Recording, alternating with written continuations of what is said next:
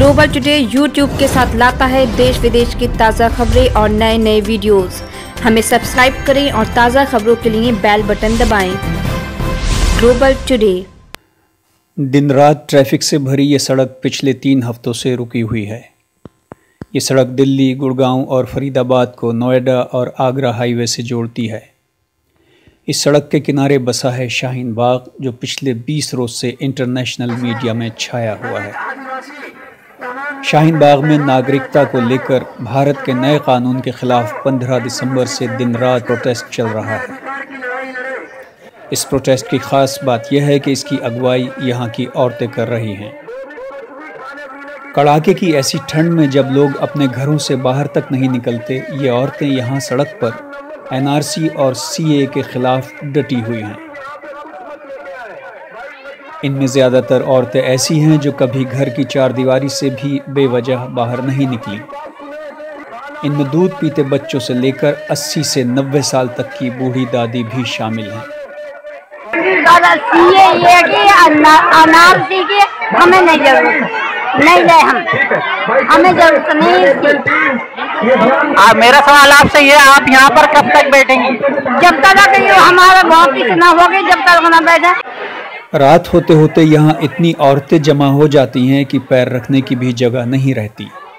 कुछ औरतें तो सऊदी अरब से भी इस प्रोटेस्ट में शामिल होने के लिए आई हैं। कि मैं बाहर सऊदी अरब में रहती हूँ तो वहाँ मेरे दोस्त जो हैं, जो इंडियंस हैं यहाँ पर, उनको पता भी नहीं है कि अभी तक ये आंदोलन चल रहा है या नहीं चल रहा है, क्योंकि मीडिया दिखाई नहीं रहा है। वो ये बोल रहे हैं, पूछ रहे हैं कि अभी तक चल रहा है, रुका कब है ये आंदोलन, ये बताइए।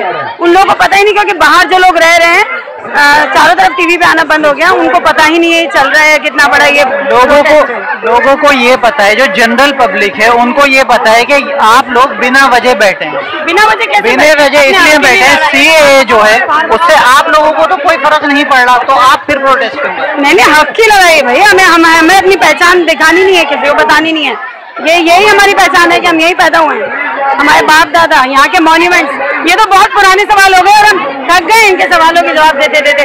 अब आगे बताइए कि गवर्नमेंट क्या करने वाली है? जब सीए के खिलाफ हम प्रोटेस्ट कर रहे हैं यहाँ पर तो जब देखा कि इतने तादाद में लोग प्रोटेस्ट कर रहे हैं, जिसमें मुस्लिम्स भी हैं और हमारे और भाई बहन भी हैं, हिंदू है, सिख है, क्रिश्चियन है, अभी भी आपने देखा था सिख कम्युनिटी कितनी आई हुई थी यहाँ पर। तो अभी ये चोर दरवाजे से घुसे एनपीआर के ज़रिए। बात बताइए, जनगणना इससे पहले भी हुई, दस साल पे ये नौ साल पे करा रहे हैं। उसके बाद जनगणना में पहले कितने कॉलम्स होते थे, अब उसके तीन गुना कॉलम्स बढ़ गए हैं। मैं या कोई भी मैं जो मेरे फादर नहीं है मैं अपने फादर का बर्थ सर्टिफिकेट कहाँ से लाऊँगी? इन औरतों की भारत सरकार से मांग है कि नागरिकता कानून को वो फ़ौरन वापस ले।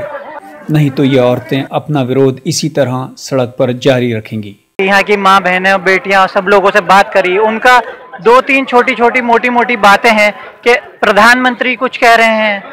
गृह मंत्री कुछ कह रहे हैं, रविशंकर प्रसाद कानून मंत्री हैं, वो कुछ कह रहे हैं। तो कुल मिला के बीजेपी की जो क्रेडिबिलिटी है, उस पर सवाल खड़ा हो गया है। लोगों लोगों को उन पर अब भरोसा नहीं रहा है। पीएम रामलीला से बोलें कि एनआरसी नहीं होगा तो इस पे लोग उनको यकीन नहीं करेंगे, क्योंकि उनके झूठ अब खुलने लगे हैं। डिटेंशन सेंटर असम में बन चुके हैं, वो कहते हैं वहाँ पे नहीं बने। लोगों का यही कहना है कि ये बीजेपी में जो सत्ता में अभी जो लोग आए हुए हैं वो बहुत बड़े झूठे हैं और जुमलेबाज हैं। और अब उनकी क्रेडिबिलिटी बिल्कुल ज़ीरो हो चुकी है। तो इन, इनकी जो यहाँ हमसे जो बात हुई है तो इन लोगों का यह कहना है, या तो वो हमें रिटर्न में दें। अमित शाह हमें रिटर्न में दें कि ये सारी चीज़ें जो हैं कुछ नहीं होंगी, और फिर ये प्रोटेस्ट खत्म होगा। वरना इन लोगों का यही कहना है कि जब तक ये C A plus N R C plus N P R ये जितनी भी चीज़ें हैं, जब तक जब तक चलती रहेंगी, ये प्रोटेस्ट भी जारी रहेगा।